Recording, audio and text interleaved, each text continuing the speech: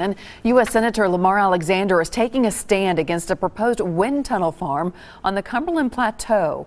Senator Alexander took to the floor of the U.S. Senate to make his point. Alexander, who is a supporter of nuclear energy, said Apex Clean Energy plans to build the turbines near Crossville.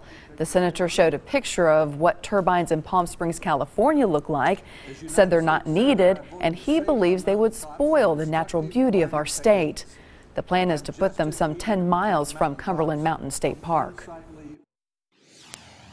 Each one is over two times as tall as the skyboxes at the University of Tennessee football stadium, three times as tall as Ozone Falls, and taller than the Statue of Liberty.